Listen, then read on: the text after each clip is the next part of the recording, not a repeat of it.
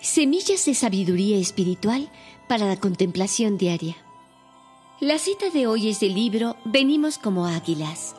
Transcripciones del Mahanta, libro 9, por Shui Harold Klemp. No hay nada malo con decir, Dios, haz tu voluntad. Esto está bien, porque Dios va a hacer su voluntad de cualquier forma.